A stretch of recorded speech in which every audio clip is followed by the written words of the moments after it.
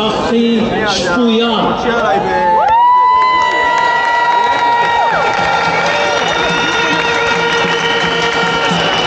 יש רגעים בהיסטוריה שפחד הוא רגש מועיל כי הוא מניע אותנו לפעולה והיום יש לנו סיבה מצוינת לפחד וסיבה מצוינת לפעול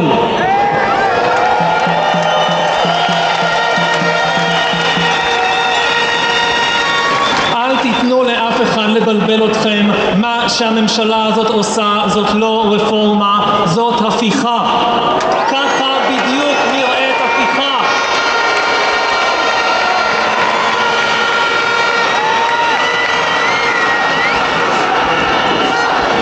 הפיכות לא בהכרח קורות עם טנקים ברחובות. הרבה הפיכות בהיסטוריה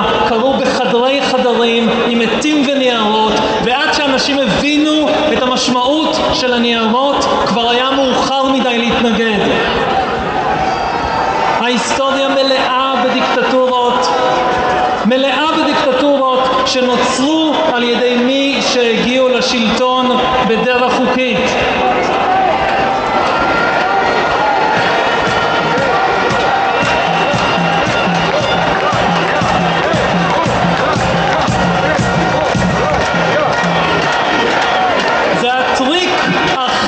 ישן בהיסטוריה.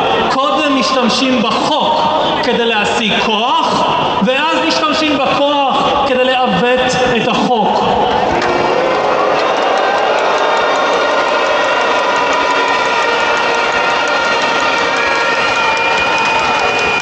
למכלול החוקים שהממשלה הזאת מנסה להעביר יש משמעות אחת פשוטה שלא צריך דוקטורט במשפטים כדי להבין אם הם יעברו מכאן ואילך לממשלה יהיה כוח בלתי מוגבל והיא תוכל לחסל לגמרי את החופש שלנו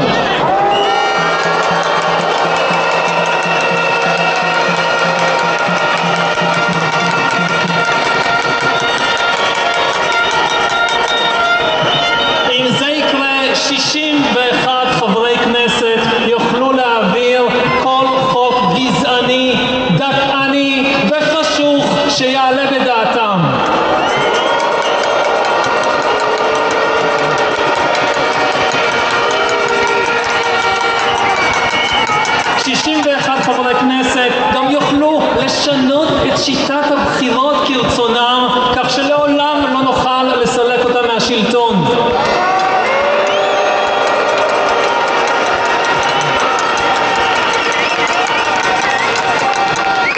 כששואלים את מנהיגי ההפיכה מה בכל זאת ירסן את כוחה של הממשלה במשטר החדש ומה יגן על זכויות האדם התשובה היחידה שהם נותנים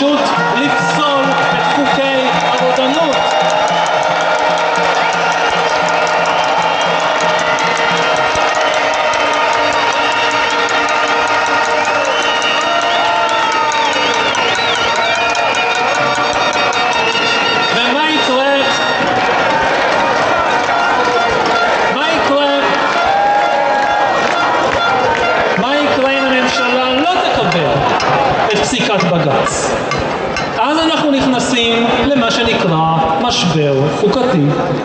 משבר חוקתי זה ארץ לא מודעת שבה אין חוקים ואין כללים ברורים. למי תצייץ אז המשטרה? לממשלה או לבית המשפט? למי יצייתו השב"כ והמוסד? למי יציית צה"ל?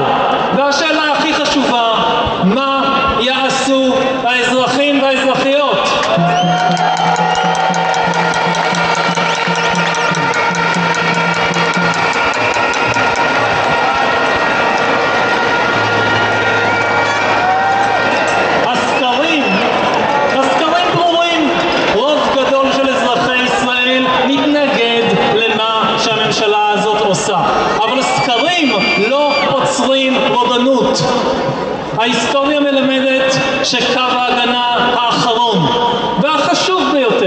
social code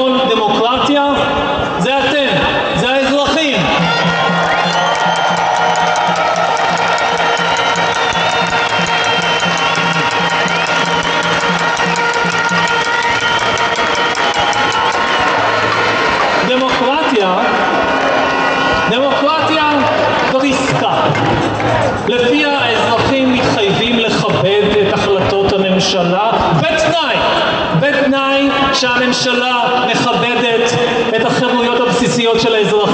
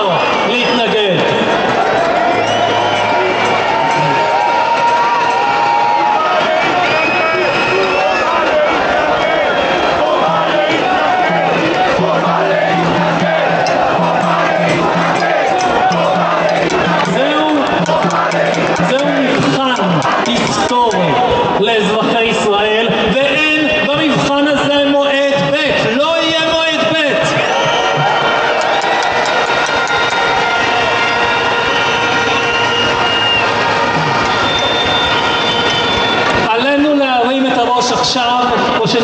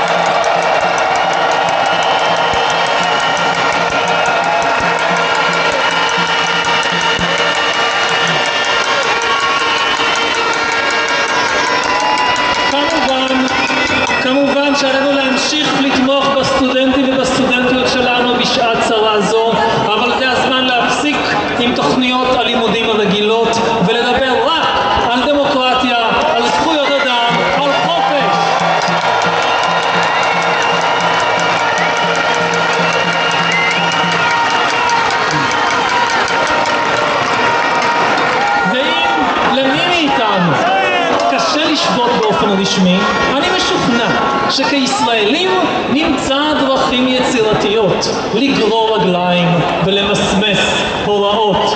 כל אחת ואחד מאיתנו יכולים לתקוע מקל קטן בגלגלים של ההפיכה הזאת.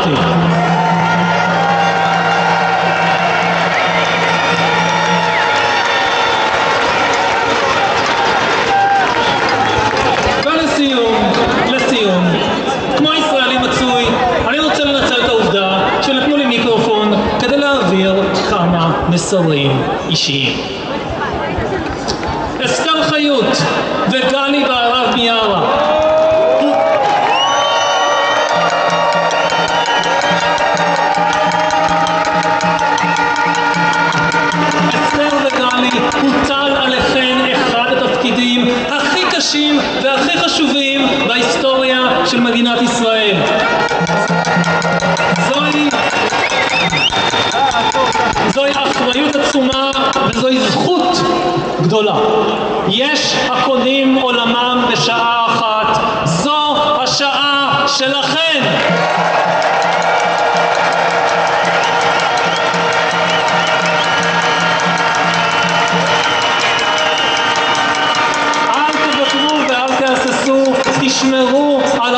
שלנו, לנשיא הרצוג ולראשי מפלגות האופוזיציה, תגנו על החופש שלנו ואל תתפשרו עליו. כשנמר בא לטרוף אותנו, אי אפשר להתפשר שהוא יאכל רק חצי גוף.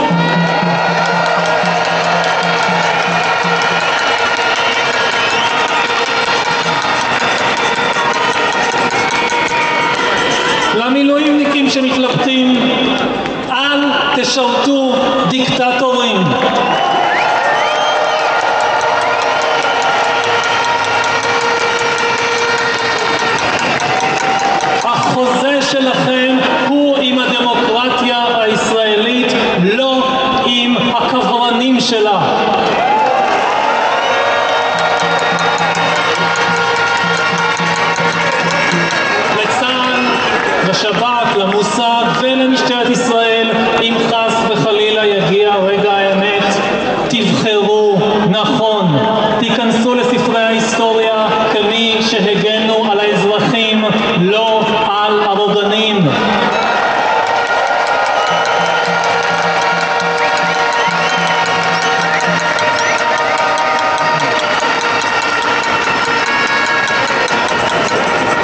לכל המפגינות והמפגינים שהגיעו הערב לכאן ולכל אחת מעשרות ההפגנות ברחבי ישראל, אני פשוט אוהב אתכם.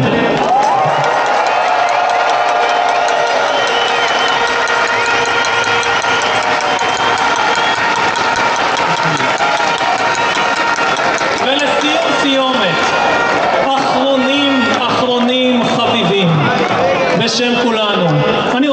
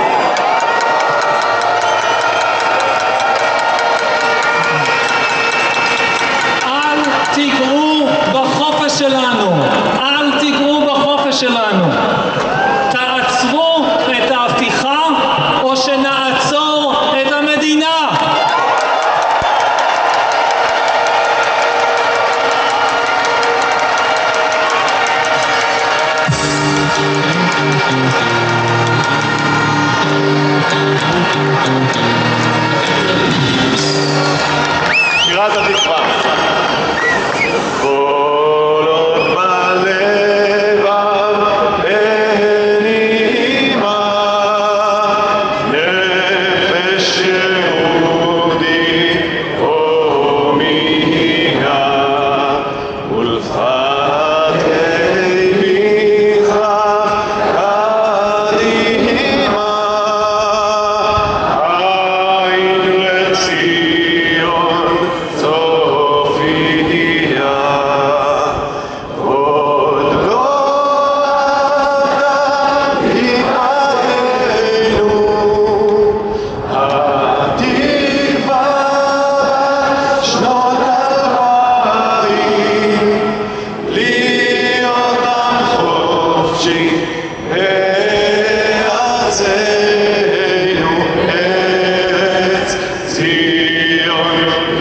inshallah.